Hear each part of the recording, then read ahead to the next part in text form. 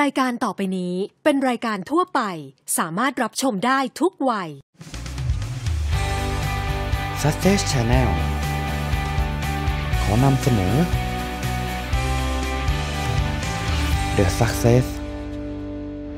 สวัสดีค่ะ คุณผู้ชมคะต้อนรับเข้าสู่รายการ The Success นะคะ เรายังคงอยู่กันที่ธนาคารแห่งประเทศไทยค่ะ ครั้งนี้มาชวนคุยเรื่องของภัยด้านไซเบอร์หรือว่า Cyber Security กันสักหน่อยนะคะ เพราะว่าเทคโนโลยีที่ล้ำสมัยนวัตกรรมที่ก้าวหน้า ก็นำมาสู่มิจฉาชีพนะคะที่อาจจะเข้ามาขโมยข้อมูล แล้วสุดท้ายก็นำมาสู่ความไม่ปลอดภัยในโลกดิจิตอลนะคะธนาคารแห่งประเทศไทยจะมีคำแนะนำในเรื่องนี้อย่างไรนะคะ ไปรับฟังกับคุณสิริธิดาพนมวันณอยุธยาผู้ช่วยผู้ว่าการนาคารแห่งประเทศไทยค่ะ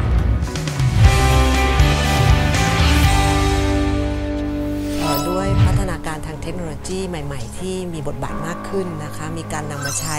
ในภาคการเงิน แล้วก็ในธุรกรรมต่างๆเนี่ยเพิ่มมากขึ้นเนี่ยก็นำมาซึ่งภัยไซเบอร์ก็ต้องเรียนว่าทางด้านภัยไซเบอร์เองเนี่ยเขาก็มีพัฒนาการ แต่ว่าเราก็ไม่ควรที่จะต้องแบบกลัวค่ะ เพราะว่าเทคโนโลยีเองเนี่ยถ้ามองอีกในมิติหนึ่งเนี่ยก็มีประโยชน์ แต่ว่าในเรื่องของการป้องกันระมัดระวังเนี่ยก็ควรจะต้องมีการติดตามดูแลอย่างใกล้ชิด การที่ให้ความรู้ความเข้าใจกับประชาชนผู้ใช้บริการรวมถึงกับในภาคการเงินเอง ในกลุ่มสถาบันการเงิน หรือว่ากลุ่มผู้ให้บริการทางด้านการเงินเนี่ยก็สำคัญ ไม่ยิ่งหย่อนไปกว่ากันเนี่ยค่ะ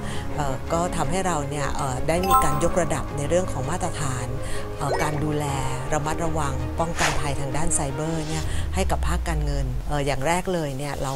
ยกระดับตั้งแต่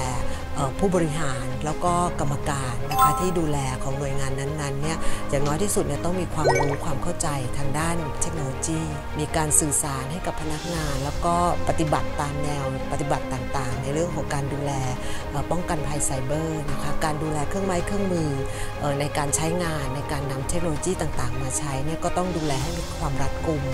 มีการพัฒนาพวกโปรแกรมต่างๆเเพื่อจะป้องกันภัยไซเบอร์ ให้ครอบคลุมก็มีสองส่วนที่อยากจะแนะนำผู้ใช้บริการและก็ประชาชนนะคะอออย่างแรกเลยเนี่ยเราจากการที่เราติดตามพวกภัยไซเบอร์ต่างๆเนี่ยเราพบว่าภัยที่การถูกหลอกลวงนะคะต่างเอาข้อมูลต่างๆ ที่เกี่ยวข้องกับข้อมูลส่วนบุคคลเนี่ยไปเนี่ยเป็นสิ่งที่พบว่าเป็นภัยไซเบอร์ที่สำคัญที่เกิดขึ้นทั่วโลก ส่วนที่สองก็คือเครื่องไม้เครื่องมือ โดยเฉพาะโทรศัพท์มือถือนะคะซึ่งเป็นเครื่องมือสำคัญในการที่ใช้บริการทางการเงินนะคะเเดี๋ยวนี้เราใช้บริการทางการเงิน เราแทบไม่ต้องไปที่สาขาธนาคารแล้วใช่ไหมคะเราใช้โอนเงินผ่านโทรศัพท์มือถือได้ เพราะฉะนั้นเนี่ยเครื่องมือสำคัญของเราเนี่ยคือโทรศัพท์มือถือเนี่ยเราต้องดูแล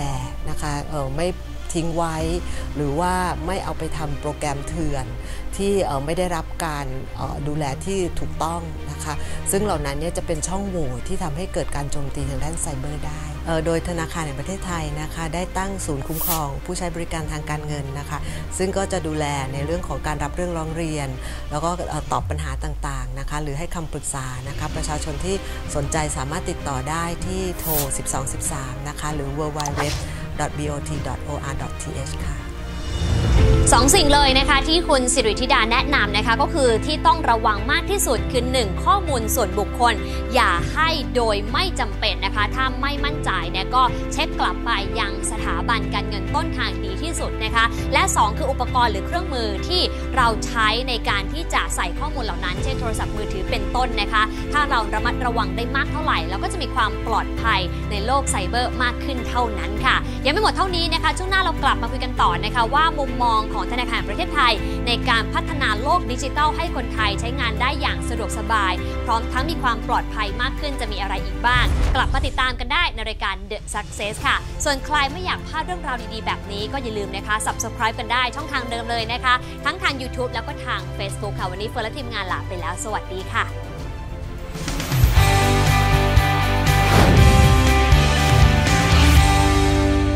The Success